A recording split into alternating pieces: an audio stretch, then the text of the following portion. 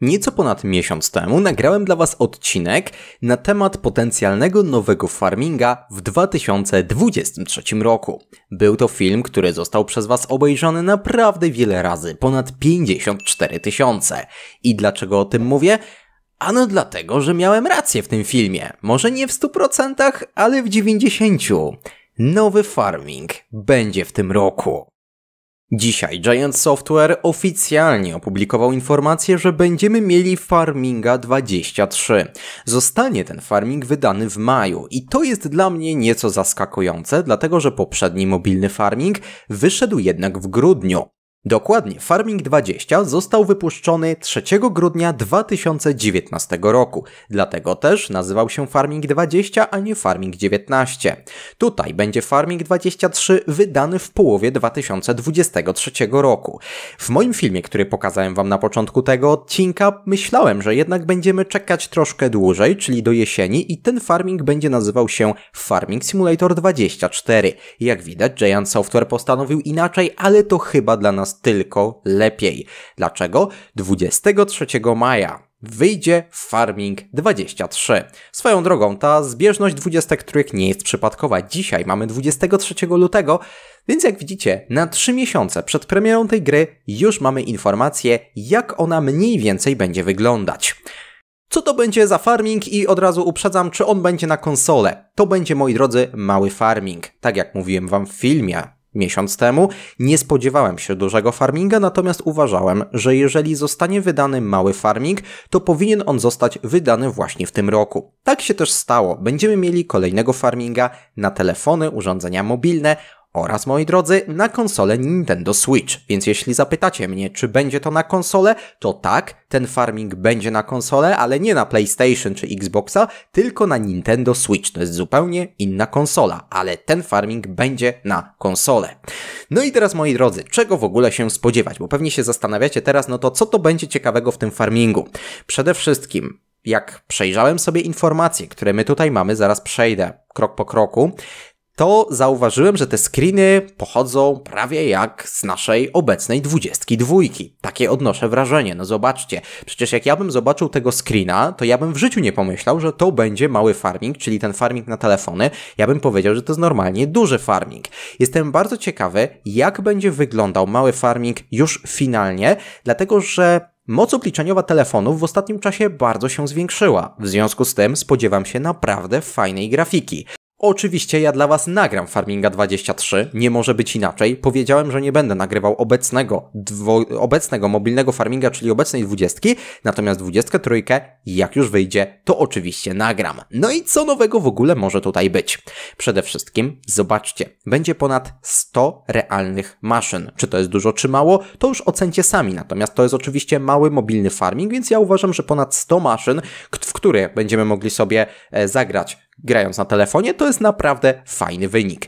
Będziemy mieli 14 różnego rodzaju upraw. Przede wszystkim wejdzie sadownictwo. Podobnie jak to było w dużym farmingu, w małym będziemy mieli również możliwość pracy w sadzie. Bardzo jestem ciekawy, jak to będzie wyglądać, chociażby w kontekście zatrudnienia pracownika, bo jak wiecie, w dużym farmingu jest to problematyczne, a mały farming raczej wychodził naprzeciw z takimi rzeczami. Nie wiem, czy wiecie, ale w małych farmingach była możliwość na przykład puszczenia pracownika na mm, zbiór, na zrobienie beli na polu.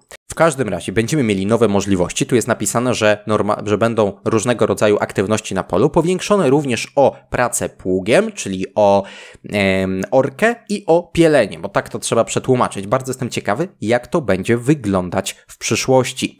Dodatkowo będziemy mogli stworzyć łańcuchy produkcyjne i używać bardzo dużych, powerful, bardzo dużych, takich potężnych ciężarówek do transportu waszych dóbr. Bardzo jestem ciekawy właśnie, jak to będzie wyglądało. Powiedziałem drób, bo drób jest tutaj, w tym miejscu, jedno. Zobaczcie, będziemy mogli zająć się hodowlą zwierząt. Takie będą zwierzęta, krowy, będą owce i będą kurczaki, więc bardzo się cieszę, że tak to będzie wyglądać. Jak na razie praktycznie wszystko to, co w dużym farmingu.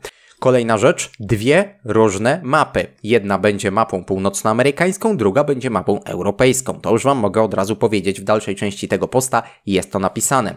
Będziemy mieli tryb samouczka, na co nie ukrywam, że bardzo czekam, bo niestety, ale samouczek w Farmingu 22 jest tak upośledzony, że można powiedzieć, że go w ogóle nie ma. Także bardzo się cieszę, że tutaj będzie tutorial mode, Zobaczymy, z jakim skutkiem. Dawniej te samouczki były naprawdę fajnie w farmingu zrobione, a teraz troszeczkę, troszeczkę jakoś tak.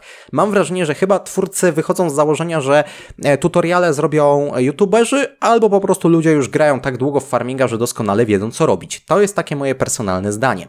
Natomiast wracajmy do tego, co będzie w tym małym farmingu, ponieważ naprawdę to jest bardzo ciekawa rzecz. Będzie tryb samouczka, będzie pomocnik AI, który nie wiadomo jak będzie działał, ale mam nadzieję, że dobrze, bo na pomocnika w małym farmingu ja nie narzekałem do tej pory. I uwaga, będzie nowa funkcja automatycznego ładowania kłód oraz palet. No więc może być ciekawie. Będziemy mieli palety.